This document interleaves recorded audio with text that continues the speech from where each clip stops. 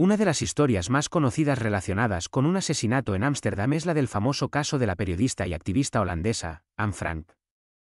Aunque no se trata de un asesinato en el sentido tradicional, su historia está marcada por la tragedia y la violencia de la Segunda Guerra Mundial. Anne Frank, una joven judía, se escondió con su familia en un anexo secreto en Ámsterdam durante la ocupación nazi. Durante más de dos años, vivió en condiciones difíciles, escribiendo en su diario sobre sus pensamientos, miedos y esperanzas. En 1944, su escondite fue traicionado y la familia fue arrestada. Anne y su hermana Margot fueron finalmente deportadas a Auschwitz y luego a Bergen-Belsen, donde ambas murieron de tifus en 1945.